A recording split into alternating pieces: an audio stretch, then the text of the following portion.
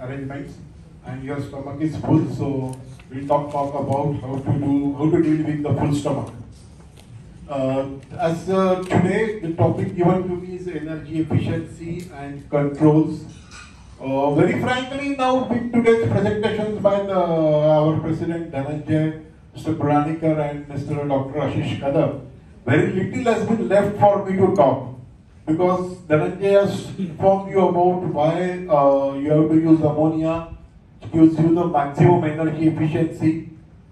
Uh, sir explained how to design your plant using standard for again maximum energy efficiency. And Dr. Kadam told you about what effects can oil make on your plant and how those removing oil can make your plant more efficient. So there's hardly anything left for me to talk, but I will try to share what experiences I have uh, last years in this industry. As we talk about energy efficiency or efficiency, basically it comes to the uh, objective why we want to have an uh, ammonia refrigeration plant itself. Why we need a refrigeration plant? Because everybody talks about energy efficiency, it means saving energy in the refrigeration plant. But why we need a refrigeration plant? So if you look at this way, we need a refrigeration plant when we want to achieve temperatures which are below ambient conditions or which cannot be achieved using standard evaporative practices like evaporative water, evaporation by water or other things. Where we want to go to the lower temperatures and particularly below comfort zone, then we need a refrigeration. We need refrigeration for food preservation, food storage, for processing, manufacturing, beverages, breweries industries, many, many, many applications like your pharmaceuticals, you need a very ultra low temperatures, maybe up to minus 70 for certain products. There we need refrigeration.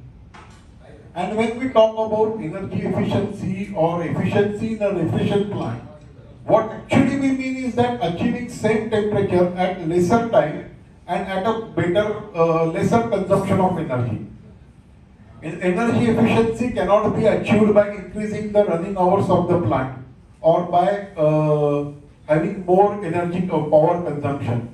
This, this has become popular in India in last 10 to 15 years when power cost has shot up. I remember in, uh, somewhere in around 95 to 2000, people used to say what is energy efficiency. Our power cost is 2 rupees 20 paisa. What difference it makes by saving energy? We don't need it.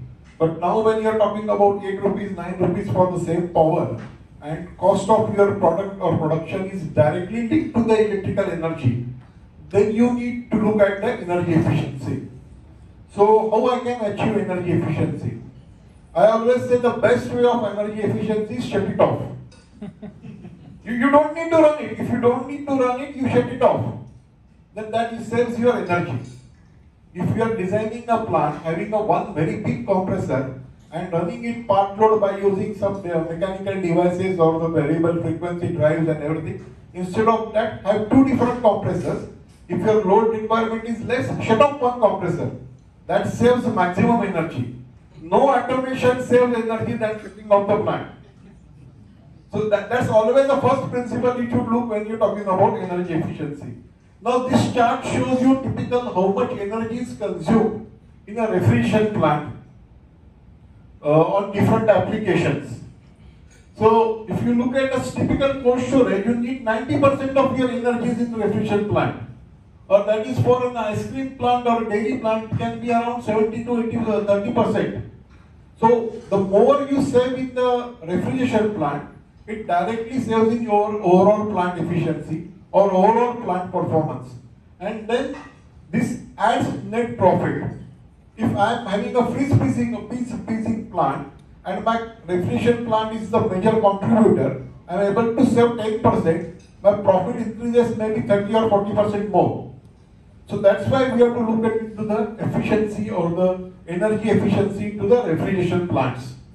So uh, when you say energy efficiency, it can be achieved in two ways, as Gulanikar sir has explained you in the morning, by using AR standard where you design the plant for energy efficiency.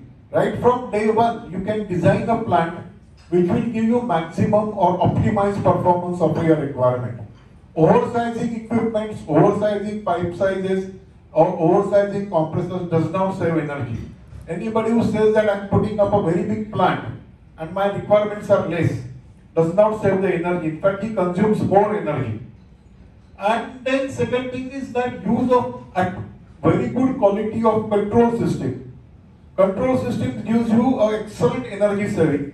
Typically, if you look at a, say, a, a chilling plant, dairy chilling plant, if your plant is not atomized and compressor is running without looking at the suction pressure, and it keeps on running maybe lesser than the desired pressure, then you are losing the energy. But if you are loading, unloading the compressor and maintaining a constant suction pressure required for your required temperatures, then you save a lot of energy.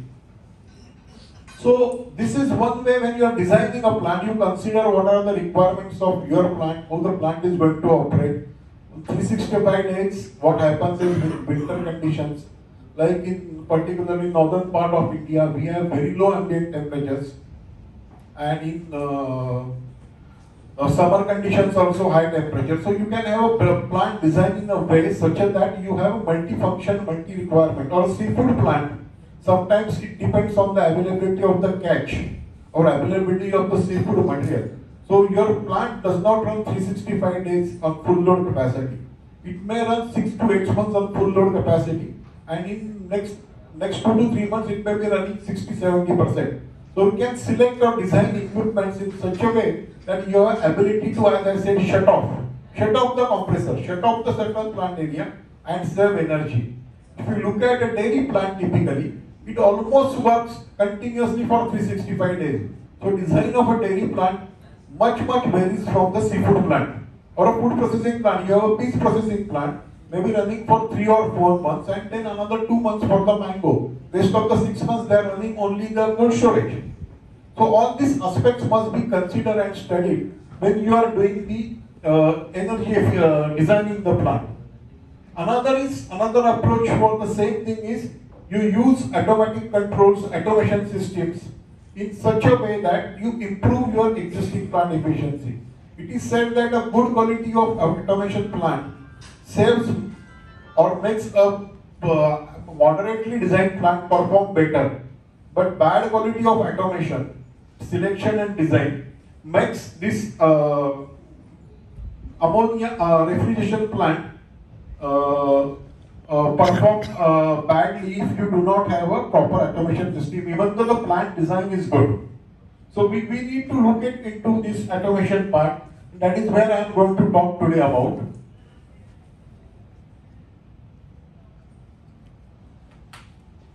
Like I said, you need automation and controls to work. Here also we need to see how the slides work, slide changer work.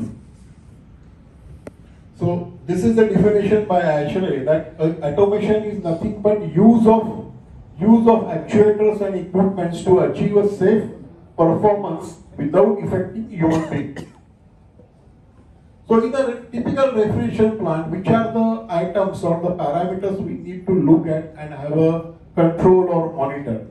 First is of course temperature because it is based on the temperature that we uh, plant is designed to achieve temperature temperatures which are not normally possible in ambient conditions. Next is the because we are talking about specifically ammonia refrigeration system it is availability of refrigerant in your evaporators. How maximum uh, evaporator is flooded you get better efficiencies of course pressure because temperature and pressure are totally linked to each other. That's what our refrigeration system is. Then in certain applications like a potato cold storage, you need to monitor carbon dioxide or in apple cold storage, you need to monitor ethylene emission from the products or relative humidity for storing of those uh, products like grapes, you need 95% uh, humidity or uh, onions, you may need 55 to 60% humidity. But depending on the product store, you need to look at those parameters also. So we, will look at into these uh, aspects how these items can be achieved. For please please uh, uh remember that when we want to uh, talking about ammonia as a refrigerant, ammonia is an as uh, Dhananjay inspired in the morning. Ammonia we are using for refrigerant has to be a nitrous ammonia. It has to have a 99.95% purity. Such a pure ammonia only will give you the desired temperature pressure charts which you are referring to. Our whole refrigerant system is designed based on these charts. So if you want to achieve these temperatures, want to achieve these parameters, your ammonia has to be a pure ammonia.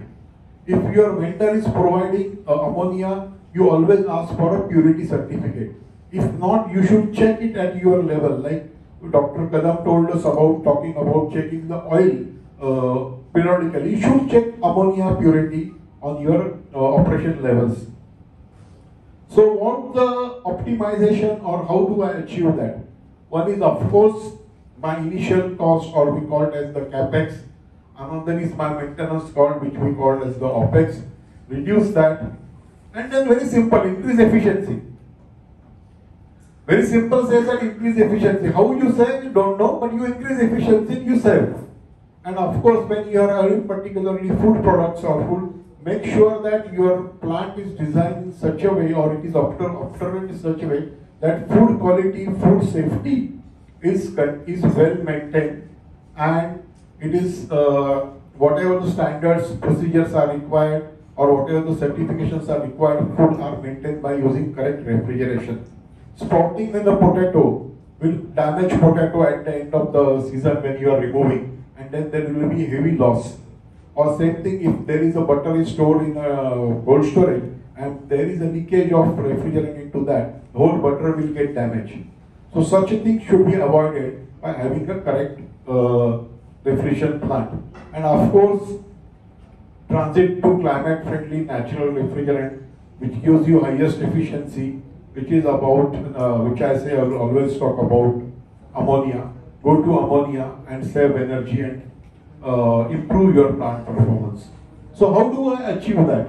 How do I achieve is that operate on the lowest condensing pressure, automatically con uh, control condensing pressure, or have a floating control on condensing pressure depending on wet bulb temperature ambient temperature. Try to raise your suction pressure maximize, operate on maximum suction pressure as I shown you that there is a pressure temperature chart. So operate on the rated conditions. Suppose in the cold storage you want to maintain 2 degrees centigrade, your system is designed for minus 3, you operate it at minus 3. Don't operate it at minus 10. That saves you a lot of energy. Then raise your, if you have a multi-stage system, make sure that intermediate pressure is operating at desired condition. If your intermediate is at minus 5, make sure you are operating at minus 5 intermediate. And of course, if you are using overfeed system, pump system, which has become very popular in India, always use ammonia pumps instead of using uh, hot gas, uh, hot gas circulated, discharge gas circulated uh, pumping system. It's not very popular, but it was very popular in particularly countries like US, where hot gas is being injected into a tank where the pressure of the ammonia is raised and then that ammonia is circulated. But it creates flash gases and also uh, it saves on pump, but it creates other effects and overall efficiency is reduced by 5%. So if we are able to do all these things, then we save a lot of energy. Lot of energy by running the plants plants in this fashion. We, we save a lot. Then, of course, the next stage, when you are operating plant at the most modern or the design conditions, try to recover the heat recover the heat from your waste heat of your condenser. There is a superheat available which can be recovered 50 to 20 percent. There is a possibility if you are having air changes in the cold storages, you are taking the cold air out, you can pitch in the fresh air coming in. Like, like those things can be used. Use highest efficiency motors. Now the very high efficient motors are available. Go with those highest efficient motors, go with automatic power factor control, systems. Make sure that power factor control is maintained. You get rebates also on that. Use a hot gas defrosting system. Preferably instead of wasting water or electricity, always go for hot gas because hot gas is available free in your system. You can use it to defrost the evaporators. Use maximum possible automation like automation on your compressor side, condenser sides. In northern India particularly, you can use hybrid condensers where uh, ambient temperatures are low, you can shut off the water consumption, just run it as air-cooled condensers. Such condensers are also available now. And keep on maintaining your plant regularly. do not wait for the failure of a plant. If you do uh, what we call as the stitching time saves nine, so always keep, keep your plants maintained, motors lubricated, change oil whenever required, oil filters, we had talked a lot about oil in the morning, so use good quality of the oil, keep it replacing or filtering whatever is required. So you keep maintenance as much as possible and you will save a lot. So this is how all if we achieve and do we save lot of energy. So I now I will go briefly through the various pipes or terms or controls which we you can use for uh, automation part. The refrigeration systems, we have three types of systems very popular. One is the direct expansion system, another is the gravity fed system, and third one is the liquid overfeed system. We'll try to see what are the controls are used into these uh, systems. Earlier direct expansion systems were very popular in ammonia. Later on they become uh, discontinued almost and they are mainly used in now those uh, synthetic refrigerant systems. Its main problem was that the uh, use of a thermostatic expansion valve, which was uh, operating on the 5 or 6 degree superheat, which was, which was causing to use bigger area of the evaporator and the efficiency of the plant was less. Secondly, as ammonia and oil, oil is not visible in ammonia. Ammonia oil carry over happening into the expansion valve used to choke the expansion valves and the performance of expansion valves used to uh, fell uh, drastically. So this DX system become uh, totally uh, like it's phased out into the system. But now it has again come back, particularly when you want to have a smaller evaporators or smaller systems operating at different temperature. A DX system with a motorized expansion valves and electronic control is again popular. You can operate it instead of 5 or 6 degree, you can operate using 2 or 3 degree uh, superheat. But uh, advantage is that because these are motorized valves, even though the oil comes in the valve, the oil does not choke the performance of the valve. The disadvantage of this system is that you need larger evaporator area before the separation of the liquid and the gas. And secondly is that if you are having multiple chambers, multiple evaporator systems, then uh, if you go for a common compressor system, then you may have to have a uh, very big uh, dry suction line which will cause your pressure drops or which will add to the, your power consumption. So you need to select correctly when you want to operate power. Your requirements is to be defined correctly. Next part is what we call as the gravity fed system. In a typical gravity fed system, liquid is circulated from receiver, high pressure receiver to individual evaporators by the pressure difference. The high pressure difference goes to the evaporator. So in this, it is most critical in this system to get energy efficiency is to maintain constant liquid feeding into the evaporator. The more and more the liquid is flooded into the evaporator, you will have the highest energy efficiency. And that's why to avoid liquid coming back to the system, we always use the accumulator or what we call as the suction, suction accumulator or the uh, accumulator as is the word is used or the liquid separator. Job of this liquid separator is to separate between gas and liquid. Liquid gets fed continuously into the evaporator and then your uh, gas goes to the compressor. So using level control is the most important thing. Level control can be level control and solenoid valve or an electronic transmitter and motorized valve. It what advantages gives is I said for energy efficiency avoids uh, it makes sure that evaporator is 100% flooded and it avoids liquid coming to the compressor. Because we all know the compressors are the gas compressors, we do not compress liquid, liquid is not compressible fluid. So if liquid comes to the compressor, compressor damage possibility is there. So we want to avoid liquid coming to the compressor. And then as more and more we have the liquid flooded into the system, we have uh, more heat, uh, heat transfer efficiency from the evaporator and also less wear tear of the compressor because we do not have we do not have any liquid coming to the compressor damages of the compressors are avoided. These are typical uh, level controllers. We have available maybe a switch type or the level transmitters. We, we have a level transmitters probe type of the uh, wire types the float switches electronic ones.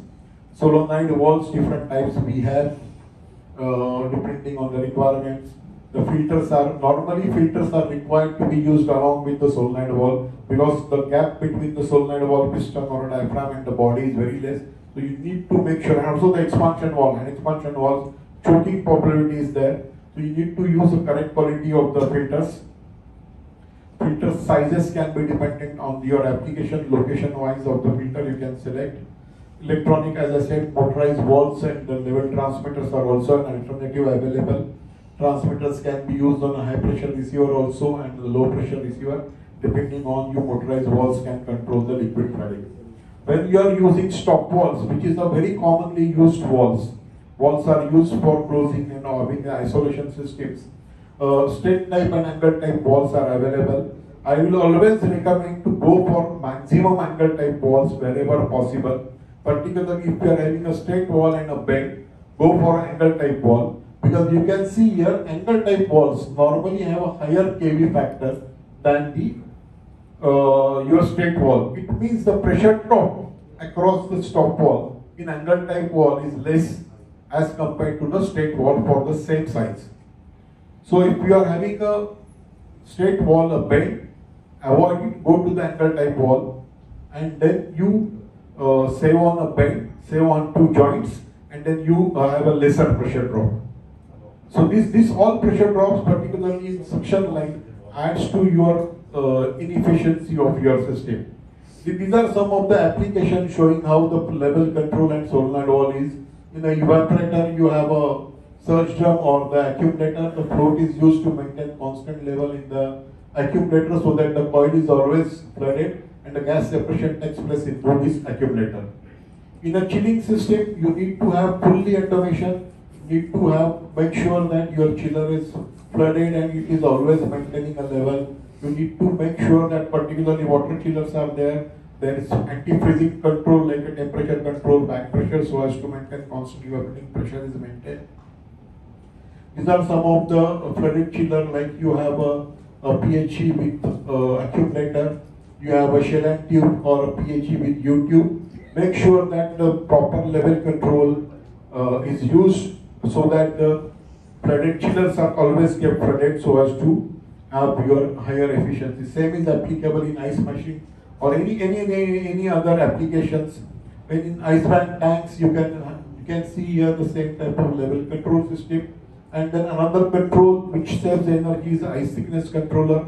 Ice thickness controller is used on a uh, coils on the in ice bank tank so that certain amount of ice is formed, then the liquid filling is stopped, which avoids the blockage forming blocks of ice.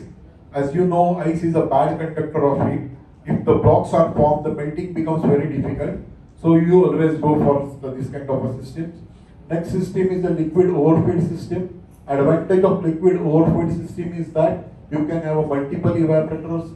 The dry suction from compressor to low pressure receiver is very less. So you have a more more uh, lesser pressure drop in the dry suction line. Possibility of liquid coming to the compressor is less because you have a one very big accumulator and individual evaporators don't need accumulators or surge drums. Implementing hot gas defrosting, maintaining multiple temperatures is a very easy phenomena when you are designing ammonia pump system. It has been very popular in India since 2005-6. Earlier, this system was considered to be a something novelty or specialty. Now I am very happy that all the components required for this pumping systems are available in India. Earlier those controls, the pumps, everything was being imported at very high cost. Now this is available. This is truly a made in India what our Honorable Prime Minister Modi says this particular this system is totally made in India can be made.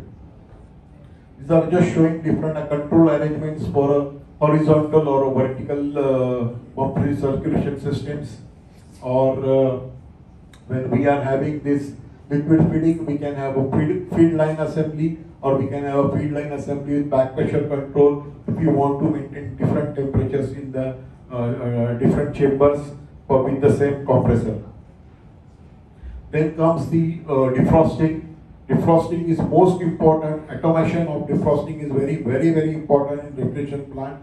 You can see in plate freezers or blast freezers or the cold storages how much this frost gets formed on the evaporator. When you are operating below 0 degree centigrade, the moisture in the air gets and gets accumulated into these evaporators because it is operating at very low temperature. So this frost has to be removed. It can be removed by water, electric, air, and uh, hot gas. What it actually means is that when you talk about water defrosting, we are stopping the plant, we are pouring the water on the evaporator and let the water raise the temperature of the frost on the evaporator and then that gets melted. The disadvantage is that there is a huge requirement of this water is there and then you need longer time, maybe one hour, one and a half hour to defrost all. And secondly, the water is wasted. Next point is that the possibility of water evaporating and again getting into the air is more. So next time you, uh, by the next cycle, you get a frosting formation earlier. Another is what called as an off cycle or air defrost. It means you switch off your plant, keep the doors open, keep it like that for 5-6 hours and let the uh, whatever the temperature, ambient temperature, raise in the temperature, defrost the ice. It, it requires shutting off or losing the temperature achieved in the room. Electric defrost is most popular, was one of the most popular thing because it was very easy. Just put the electrical heaters in the coil and when you don't want to defrost, you run the heaters. The disadvantage is that it requires huge electrical power and when you are talking about energy efficiency, of course saving on the electrical power is very important. Secondly, replacing those heaters if they fail of the or is very difficult. Third point is that if the heater insulation fails, then possibility of generating electric shocks or through your evaporator is also there. So the what is best way is using the hot gas defrosting. In hot gas defrosting, what we do, hot gas which is available in our system, which is being uh, condensed into the condenser, is fed to the evaporator. It's like a reverse circle. Typically, this is uh, your liquid feeding coming in and going back to your system. When you want to defrost, you shut off the liquid line, you put the hot gas, the hot gas pressure will raise, and then it will defrost the evaporator, and that, uh, in the in that process, the hot gas becomes liquid, so you drain that liquid out. So this, this can be done using a pump suite gravity fed system or in uh, overfeed system also efficiently. So hot gas defrosting saves lot of energy. In my experience, I have seen that plant which was shut off by using water or electric defrosting for one hour, one hour, one and a half hour has been defrosted in 10 to 15 minutes. And again using, using the energy which is available in the plant. So there is no external energy required.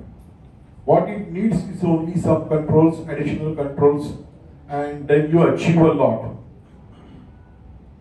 Next part is as uh, Dr. Kadam told us about uh, uh, removal, purging of air and uh, water in ammonia. So what happens this year is here is that uh, the air or what we call as the actual pressure uh, or pressure is additive. What it means that the pressure of ammonia and pressure of air gets added.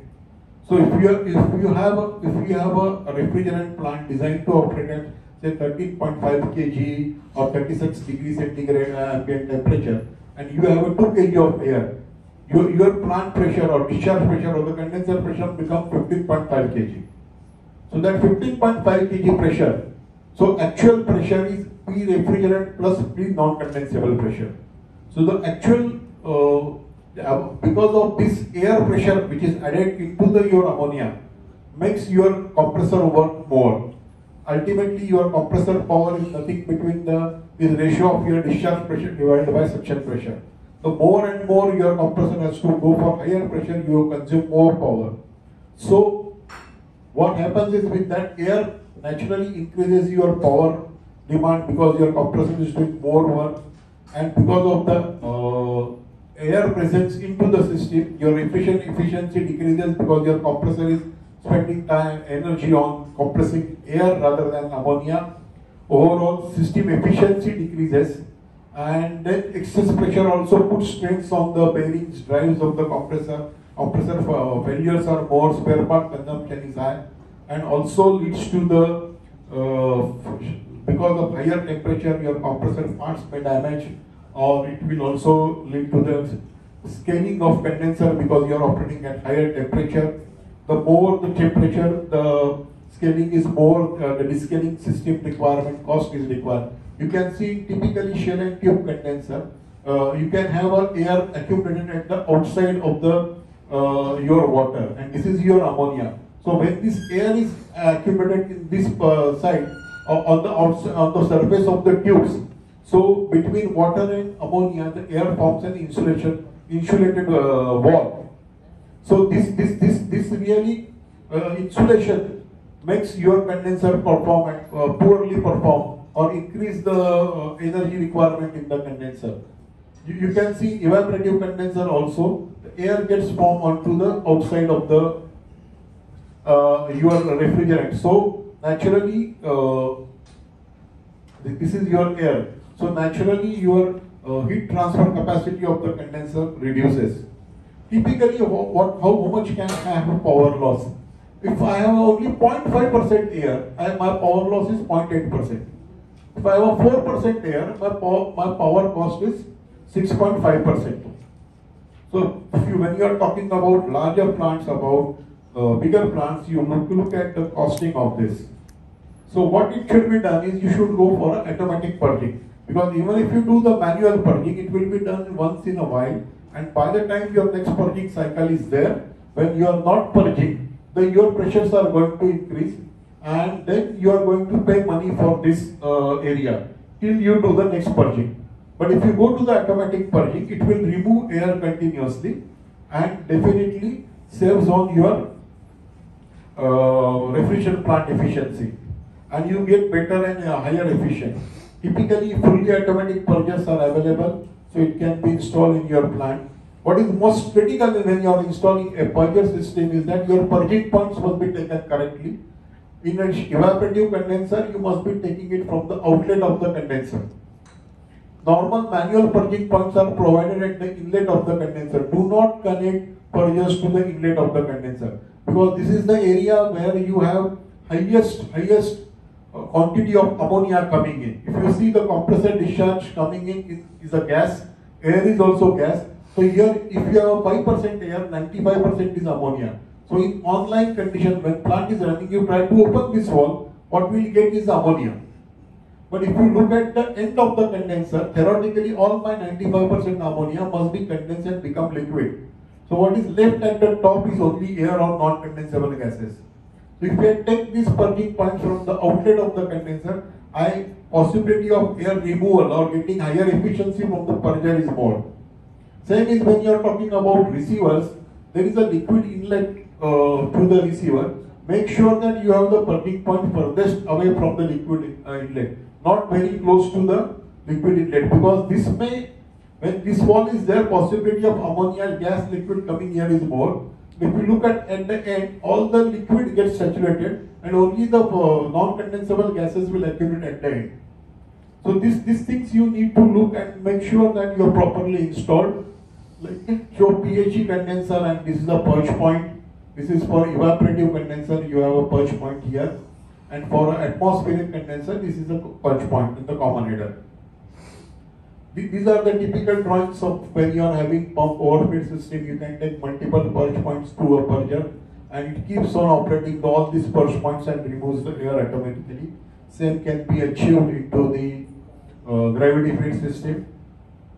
This is the result of a ice cream plant where discharge pressure from 16 kg has been brought down to 12 kg and this is the gravity feed system and this is what their saving is. Uh, around 8 lakh rupees in a year for power cost of 7.5 rupees when that project was implemented. Now the power cost has gone to 9 rupees.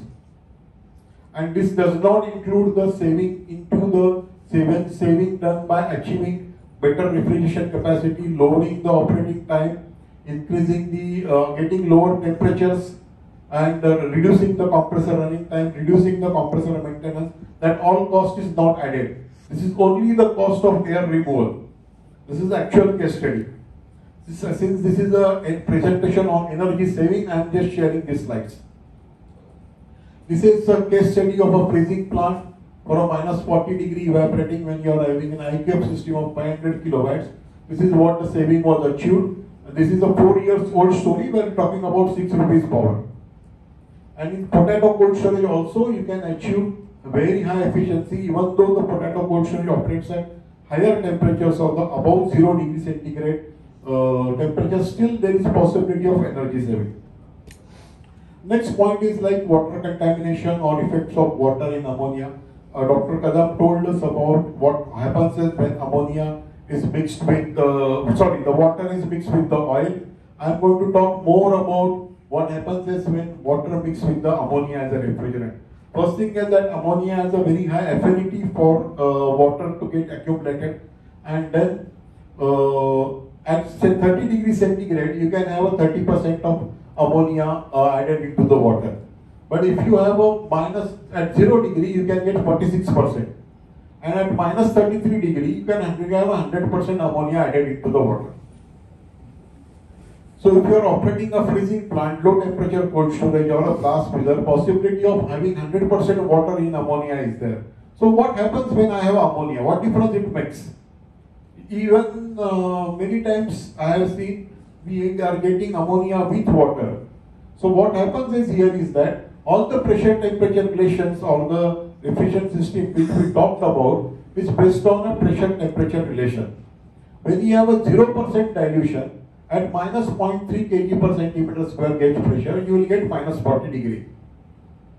But if I have a 20% water in my refrigeration plant, then instead of getting minus 40, I am going to get only minus 36 degrees centigrade. So my refrigeration plant running at the same suction pressure, same discharge pressure, I am not going to get minus 40. It means that to get this minus 40, I either have to operate at lower suction pressure when I go for a lower suction pressure, my compressor efficiency is going to reduce. So I may have to add one more compressor. Or I have to increase the refrigeration plant capacity to get minus 40 or I am compromising on the temperature required, which may affect freezing of my plant or uh, processing whatever I am doing.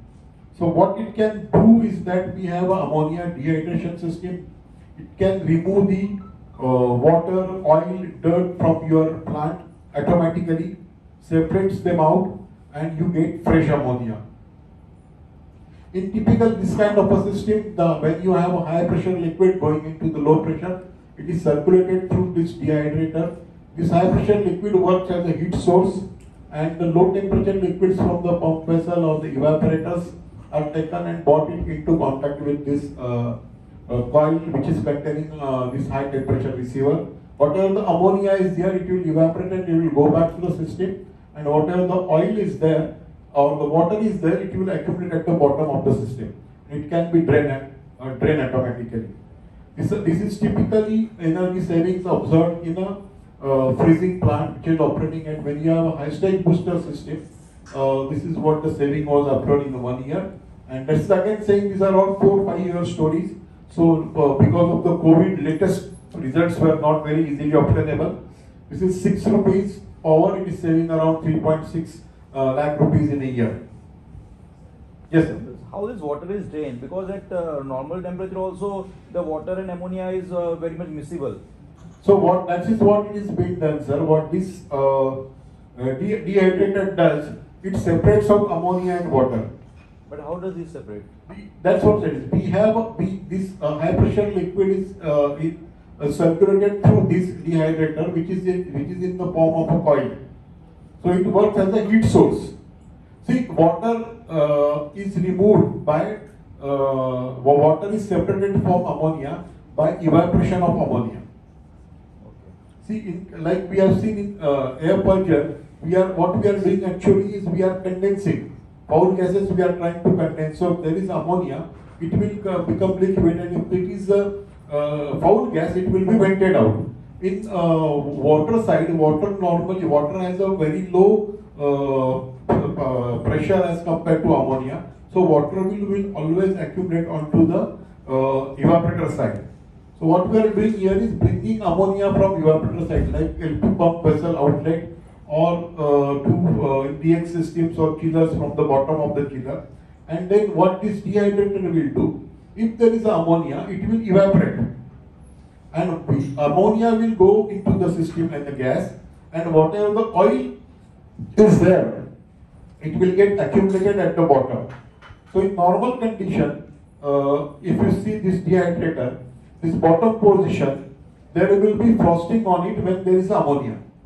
And when it starts filling up with the water or oil, the frosting will go. Then there is a drain valve available by which you can drain automatically.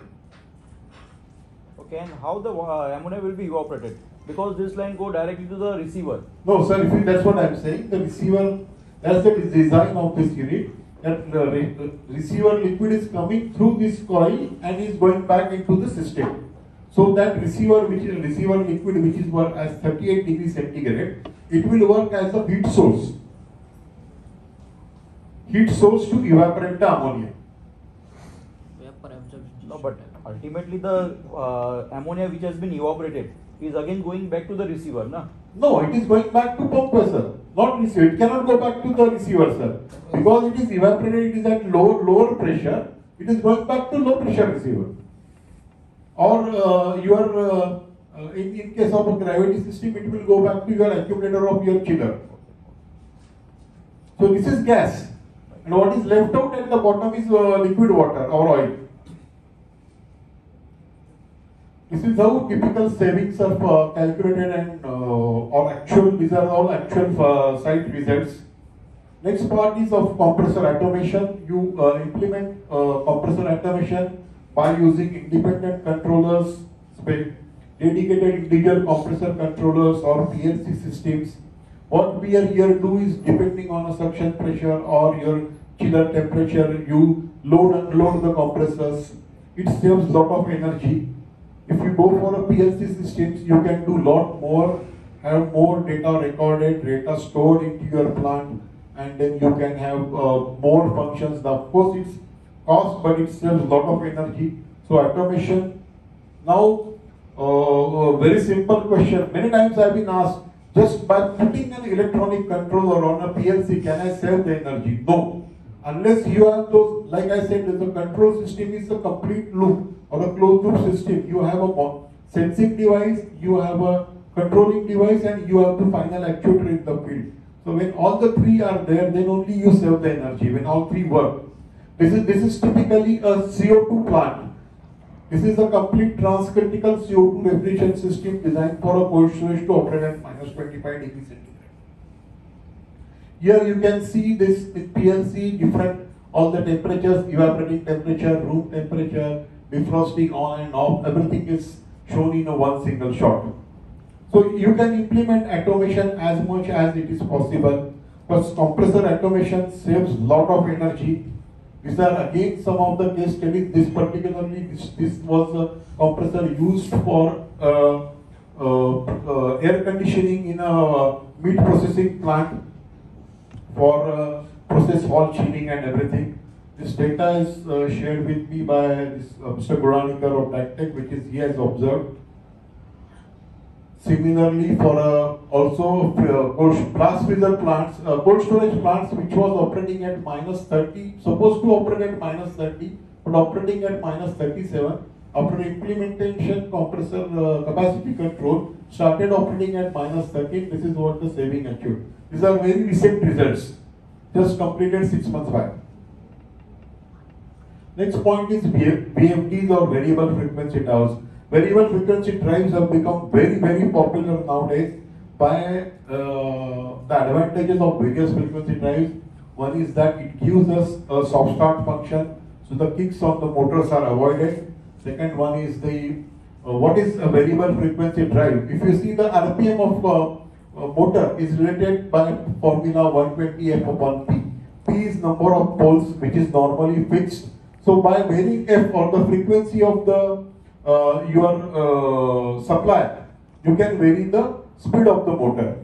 And this variable speed gives you your compressor variable because of the change in the compressor RPM, your compressor capacities uh, it's changed or it is uh, uh, increased or reduced based on your requirement and you can achieve lot of energy saving. So one energy saving achieved by soft start function and another is by the varying the frequency.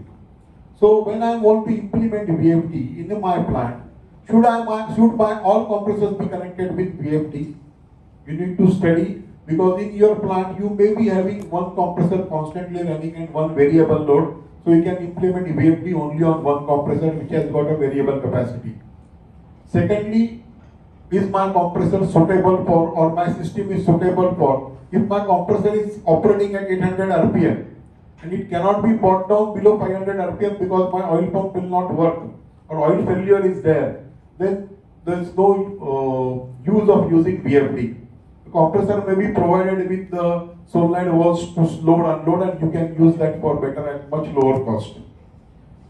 Secondly, is my compressor capable of going for higher RPM? Some of the compressors are available which can run at 1800 RPM. So typically, by using the same compressor which was selected for 800 RPM, I can go to 1500 RPM and achieve more energy or more refrigerant capacity from this. So compressor capacity, compressor compatibility needs to be checked. And overall, what is my, what is my, suppose I am operating around 800 to 500. So what is the energy saving I am going to achieve? And is it worth with my investment of VFD?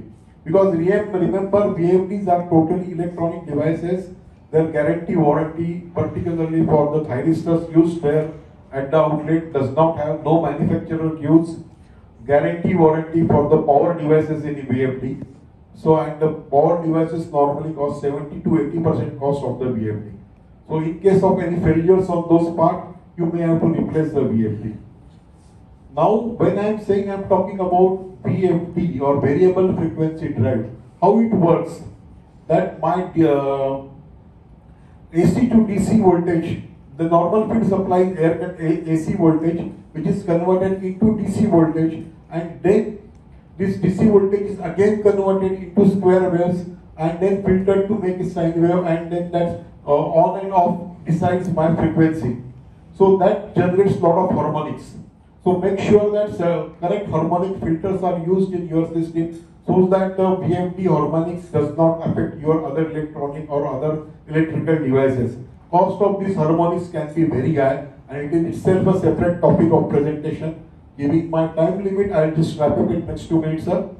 Uh, as I was talking about energy saving, use desuperheaters wherever possible. From discharge of your uh, compressor, the superheat can be recovered and around 50 to 20 percent superheat can very easily be recovered and you can generate free hot water from your plant which can be used for uh, multiple applications depending on your requirement. These are case studies of uh, using hot water from refrigerant from bottle warmers in uh, PepsiCo plants. Then I was talking about air-to-air heat recovery. You can save a lot of energy, particularly you have air changes in your cold storage systems where you are removing the uh, uh, cold air in the room and taking the fresh air. You can use it use it to uh, pre-chill the fresh air coming in and uh, heat the air going out. So you are not trying to cool the atmosphere uh, outside environment, but you are uh, saving on the uh, chill, again chilling of the fresh air coming in. These are typical calculations for a potato cold storage. It Saves a lot of saving. Last topic which I want to talk about is calibration of equipment used into your systems or your plant. Make sure that all the instruments, equipments, gauges, everything you use are regularly calibrated and regularly maintained because any deviation, any failure in these instruments is directly affecting your energy performance. This is example which I found out. This is a pressure gauge. You can see it is not connected anywhere, but it is show, still showing some pressure. So make sure that your all equipment gauges are daily, daily and regularly calibrated, and it is uh, maintained. Data is maintained continuously. It's a small case study which was done by one of our customers. And I presented this case study into uh, that uh, NH40, NH23 uh, conference in Bangkok. Uh, there was a grape pre-cooling called storage in, uh, near uh, in Maharashtra, which was initially used in uh, R22 system air cooled, and then they were having a lot of problems. The customer found that the temperature and humidity was not maintained, rejection rate of the product was very high, capacity was not able to achieve, the refrigerant cost itself is, was very very high, and they were consuming a lot of power. They wanted to go for expansion, but they were not able to uh, expand because this was all consuming their money into the power and the refrigerant cost. And they were not able to compete with their competitors. So when they have changed this from, uh, if you see they increased this refrigerant capacity, they changed to ammonia plant and then they gone for a evaporative condenser instead of a air cooled freon condensers, gone for open type piston compressors. Evaporators were replaced with stainless steel tubes, uh, stainless steel evaporators. Ammonia recirculation system was used. Initial charge of ammonia was 1000 kg and yearly top up was 100 kg. So cold room temperatures 0 degree 95 because it is a crepe filling unit. This is very critical to have a 95% RH. Processing time was uh, from 24 hours, it has brought down to 8 hours and then they were able to have two batches in the same freezer instead of having one in a day. We consider what could be the net benefit and so what they have saved, their actual power saved is around 72 kilowatts per day and then there is saving and there is increase in capacity. The total saving is huge. I am not able to read the figures. And then there was a sale of scrap of all those R22 equipment. It also generated certain money, new project investment, and overall payback period was two and a half years. So uh, ammonia plant normally we consider designed for 15, 20 years of operation.